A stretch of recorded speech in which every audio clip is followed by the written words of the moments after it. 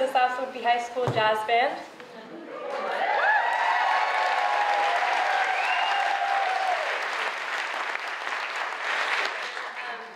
From going to jazz festivals, we found out that jazz is a very male-dominated art.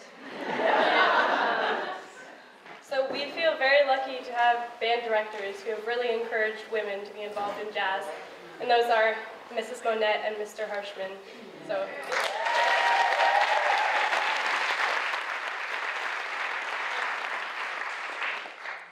So yeah, and we really encourage um, women of all ages to be involved in jazz. It's art for everyone.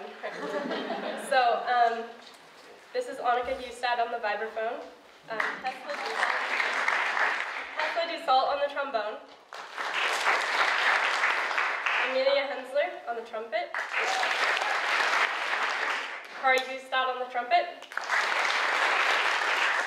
Katyrose Jordan on the electric violin,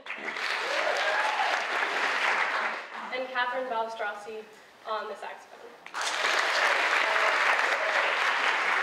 I'm Chloe Hood on the piano, and uh, Malagueña by Ernesto Lecuona.